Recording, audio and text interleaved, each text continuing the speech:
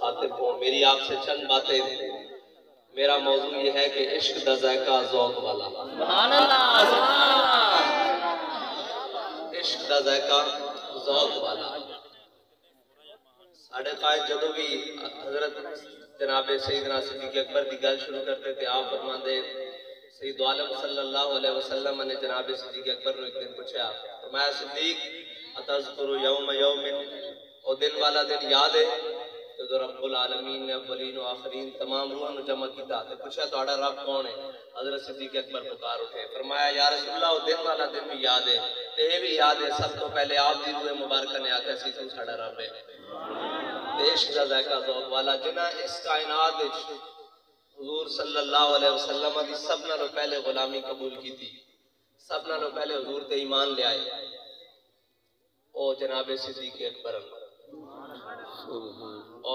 जिन्हों का मकाम अफजल खल्क बाद अंबिया।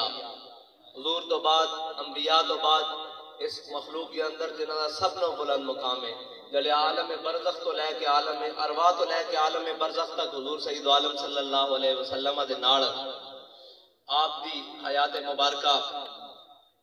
ओ, हर मुसलमान वास्ते मीनारा नूर है। और आपने जो इस्लाम की खिदमत की थी, जो इस्लाम मेरे आका मौला सल्लल्लाहु अलैहि वसल्लम ने जिसकी दावत दी थी, उसनु सब नालों पहले कबूल किया वो इस्लाम, जड़ा हजूर सल्लल्लाहु अलैहि वसल्लम तो लैके अल्लामा खादिम हुसैन रिजवी तक दावत देते रहे। और जिसकी दावत इन ता कयामत जारी और सारी रहेगी। इंशाअल्लाह जबर नहीं रोक सकता। हजूर का दीन इंशाल्लाह कयामत तक चमकता हुआ रहेगा जड़ा लगेगा वो लाफानी हो जाएगा वो आफाकी हो जाएगा। जब तक सूरज चाँद रहेगा।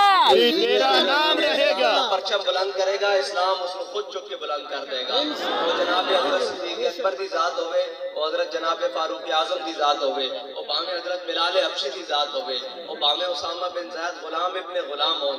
जड़ा भी इस परचम के थले आ जाएगा इस्लाम उसका नाम कयामत तक बुलंद कर देगा। जिंदाबाद।